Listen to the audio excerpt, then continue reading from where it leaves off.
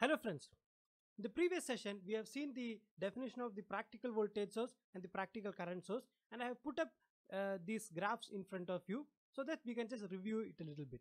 Now, this graph is obtained when you connect the load across the practical voltage source and the practical current source. This is the load resistance. Alright, and you vary it like this.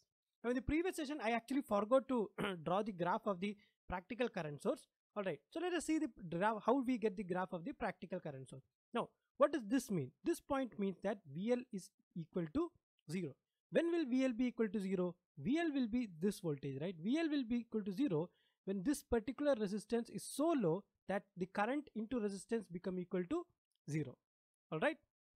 Well what does that mean?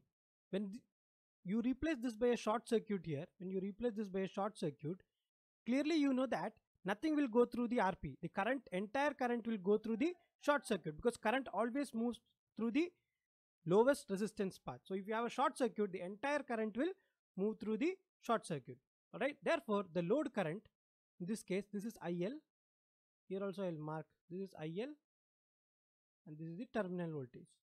Here also we are having the terminal voltage VT. now, so the IL will be equal to the source current IS. What is this point here?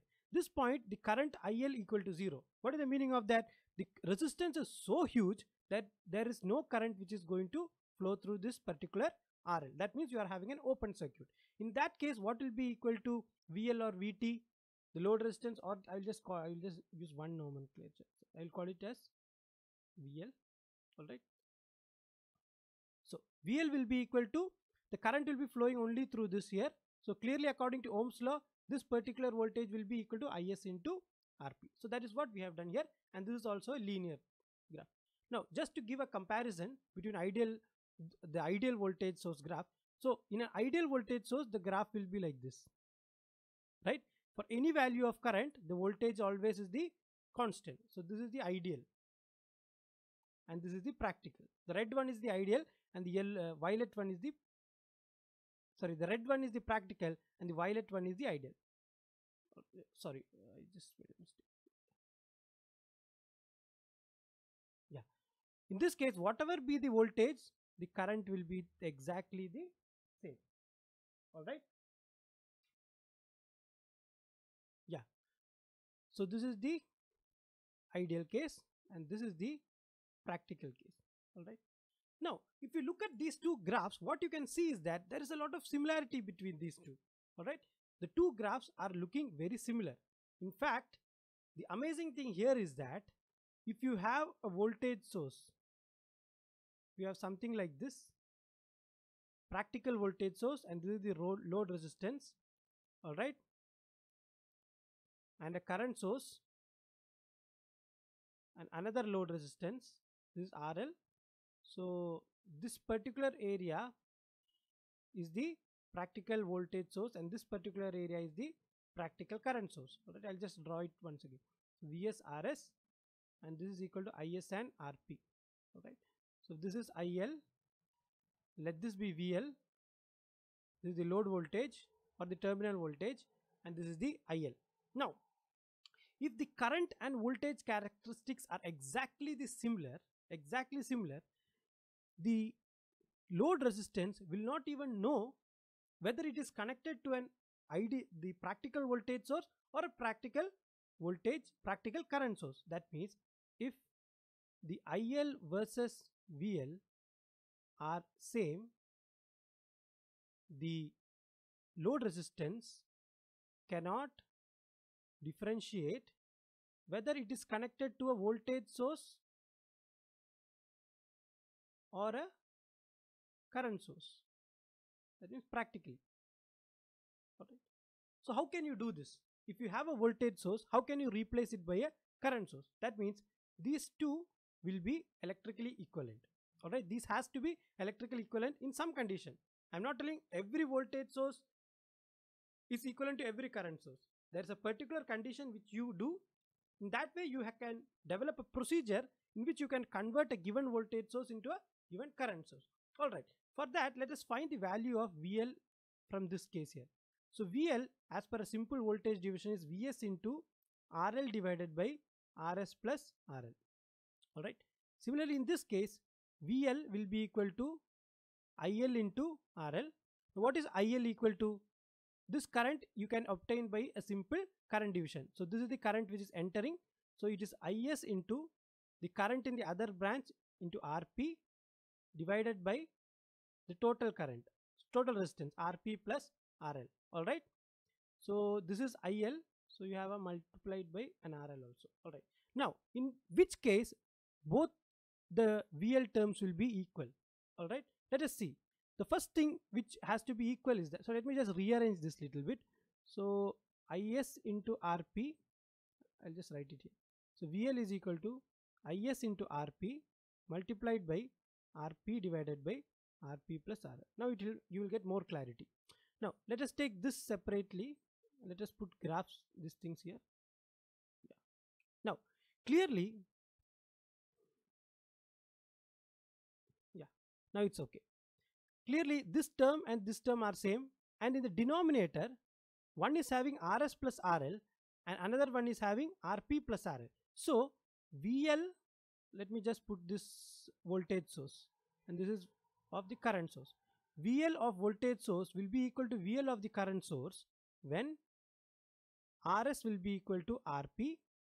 And let us see what else we have to change. The value of vs should be equal to is into rp. And vs should be equal to is into rp. In that case this particular voltage and this particular voltage will be having the exact same value or they have the same voltage characteristics so now because rs is equal to rp is already a condition you can replace it by is into rs also. All right so what does this mean actually? Let me just put it into another diagram here. What it means is that for example you are having a current source. All right this is the practical current source which you are having. All right and this is the load resistance. This is the load resistance. So this area is the practical current source so you can replace this thing by a voltage source and this resistance won't even understand a thing. How should you, how you should replace? You first draw it like this. And this will be RL but simply drawing will not give you any results right? You have to find what is the value of Vs and what is the value of Rs clearly Rs will be equal to Rp all right so that is not a problem. And what is Vs Vs is nothing but Is into Rp Vs will be equal to Is into Rp similarly this is the source transformation which I have done. Now this is why it is called source transformation. I have converted a current source into a voltage source. Similarly, if you have a voltage source Vs, all right, and this is the load resistance RL. So this is your voltage source. How can I convert it into a current source? You just put like this, but simply putting this is not enough. You need a proper values for this. So what will be this Is and what will be this Rp? Rp will be equal to Rs. So that's not an issue all right but what will be the value of is is will be nothing but equal to vs divided by rp from this equation is is nothing but vs divided by rp all right so to understand this what we have to do we have to do a simple numerical now friends this is the first problem I have taken. Let me guarantee you in no competitive exam they are going to ask this question because it's a very very trivial question but I just wanted to give you a feel of this conversion. The question is to convert this particular current source, practical current source into a practical voltage source. So what I have, what we have to do? Have to first draw the polarity properly.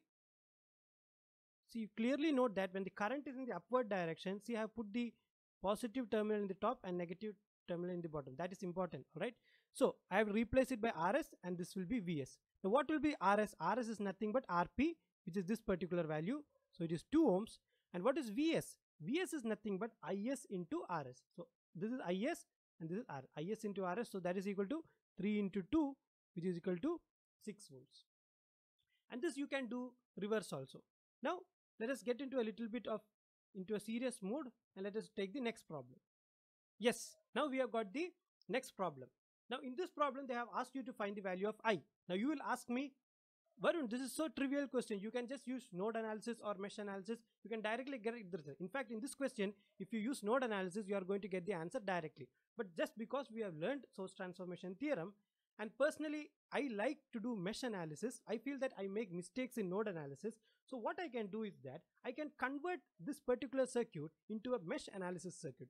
Now at this present time, I cannot uh, use mesh analysis because of this particular current source. I will have to use other techniques. So how can I convert? Now clearly you can see that this particular section is nothing but a current source in parallel with a particular resistance or it is IS in parallel with RP. Therefore, this is eligible for a source transformation.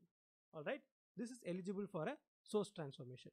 So whenever you are having a current source which is directly in parallel with the resistance without any other resistance in between direct parallel connection you can directly use the source transformation same way when you have a voltage source in series with a uh, resistance you can directly use the uh, source transformation for voltage uh, source to current source. So in this case we are going to do a current source to voltage source. All right so what i have to do? I have to replace this now. So after the current source conversion what is happening? I have to use the symbols like this now. And I'm going to replace it like this. And the remainder of the circuit is going to be exactly the same. Now you clearly know this series resistance will be 5k because Rp equal to Rs and what will be this particular voltage? It will be 9 into 5k that means it will be 45 volt. The rest of the circuit is exactly the same 3 volts you don't go and change the current direction what is I so 4.7 and this is 3. So clearly current will be equal to the potential difference 45 minus 3 in this particular direction divided by 5 plus 4.7 plus 3. So it will be 42 divided by uh, the result is I will give the result directly 42 divided by 12.7 and this will be in milliamperes. Alright. Now I hope you have understood this particular concept in which I have presented uh, the voltage source and current source transformations and I'll see you in the next lecture. Thank you.